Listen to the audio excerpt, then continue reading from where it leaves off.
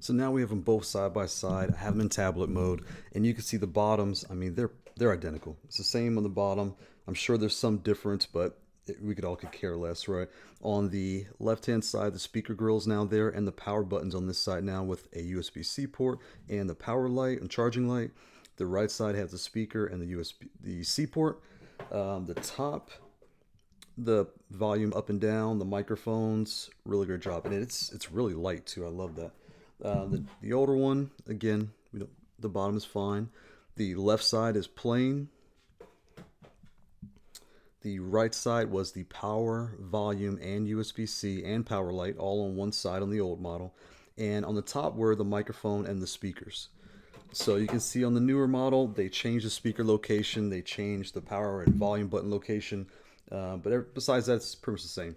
Um, this one is the back completely sticks to the back here. You can see in tablet mode.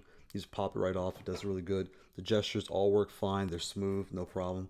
And here, I love how they just added just the top is magnetized. It's really good. It's really light. Um, no problems. It fits right on there. You hold them both. They both, you know, hold in your hands really well. Um, this one tips over, so don't do that with this one but there you go. You know, they both look really good. When We pop the backs off. Wow, that's really magnetized there now, isn't it?